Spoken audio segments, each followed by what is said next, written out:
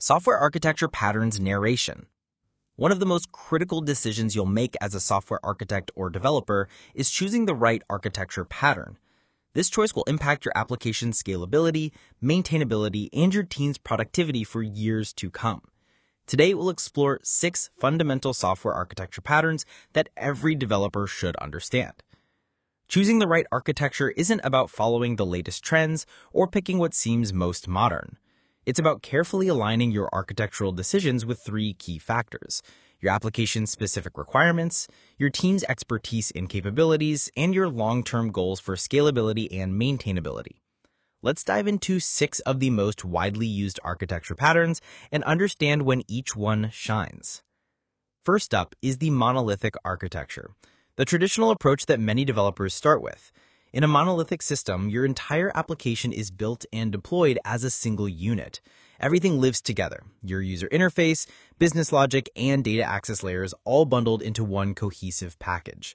The beauty of monolithic architecture lies in its simplicity. It's straightforward to develop, test, and deploy. Your team doesn't need to worry about complex distributed systems or network communication between services. However, as your application grows, this simplicity can become a limitation. Scaling becomes challenging because you have to scale the entire application rather than just the components that need it. Making changes can also become risky, as a bug in one part of the system can potentially bring down the entire application. That said, many successful companies have adopted what's called a modular monolith, keeping the single deployment model while organizing code into well-defined modules for better maintainability. Next, we have serverless architecture. Next, we have serverless architecture, a paradigm that's revolutionizing how we think about infrastructure. With serverless, developers can focus purely on writing code while the cloud provider handles all the infrastructure management, including automatic scaling based on demand serverless extends beyond just functions as a service, or FaaS. It includes managed databases, authentication services, messaging systems, and more. The promise is compelling. Reduced operational overhead, automatic scaling, and pay-per-use pricing. However, serverless isn't without trade-offs.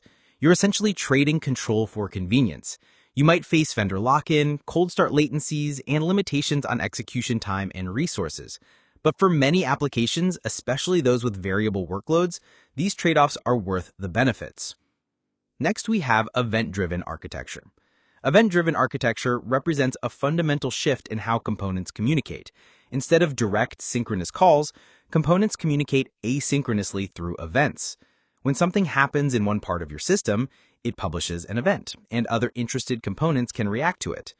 This pattern is perfect for building reactive, real-time applications. It provides excellent scalability and resilience because components are loosely coupled and can operate independently. It's particularly powerful when combined with microservices or when building streaming applications. The challenge with event-driven systems is complexity. Debugging can be difficult when you're tracing events across multiple components. Ensuring event consistency and managing event ordering can also be challenging, but when implemented correctly, EDA enables highly scalable and flexible systems. Next, we have microservices architecture. Microservices architecture breaks down your application into a collection of small, independent services, each responsible for a specific business function. Each service can be developed, deployed, and scaled independently. This pattern offers tremendous flexibility. Different teams can work on different services using different technologies. You can scale only the services that needed, and deployments become faster and less risky because you're only deploying small, focused services. However, microservices introduce significant complexity. You need to handle service-to-service communication, data consistency across services, distributed monitoring, and orchestration. The operational overhead can be substantial, especially for smaller teams. Microservices work best when you have the organizational structure and tooling to support them. Next, we have Domain-Driven Design, or DDD. Domain-driven design is unique in our list because it's not an architecture pattern itself, but rather a software design approach that profoundly influences architectural decisions. DDD structures her system to align closely with your business domains. You define bounded context, clear boundaries around specific business domains, and model your software to reflect how the business actually works. DDD emphasizes domain modeling, strategic design, and close collaboration between developers and domain experts. When done well, it significantly reduces technical debt and improves maintainability because your code structure mirrors your business structure. Changes in business requirements translate more naturally into code changes. Finally, we have layered or n-tier architecture, a structured approach where your application is divided into logical layers. Typically, you'll have a presentation layer, business logic layer, and data access layer, each with specific responsibilities. This pattern provides excellent separation of concerns and improves maintainability. Each layer has a clear purpose, and changes in one layer shouldn't affect others. It's a pattern that many developers find intuitive and easy to understand. However, layered architecture can introduce performance bottlenecks due to rigid dependencies between layers. A request might need to pass through multiple layers even for simple operations, which is why more modern patterns like microservices or event-driven architectures are often preferred for new applications.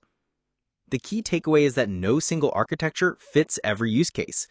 Each pattern comes with its own set of trade-offs, and the right choice depends entirely on your specific system requirements, team capabilities, and business constraints. A startup might begin with a monolithic architecture for speed and simplicity, then evolve to microservices as they scale. A data-heavy application might benefit from event-driven architecture, while a traditional enterprise application might work perfectly with a layered approach. The best architects don't just pick one pattern and stick with it. They understand the strengths and weaknesses of each approach and choose the right tool for the job. Sometimes they even combine multiple patterns within a single system, using different approaches for different parts of the application. Remember, architecture is not a one-time decision. It's an ongoing process that evolves with your application, your team, and your business needs. The best architecture is the one that serves your current needs while providing a clear path for future growth. Which of these architecture patterns have you worked with the most? And more importantly, which challenges have you faced when implementing them? Understanding these patterns is just the beginning. The real learning comes from applying them in practice and learning from both successes and failures.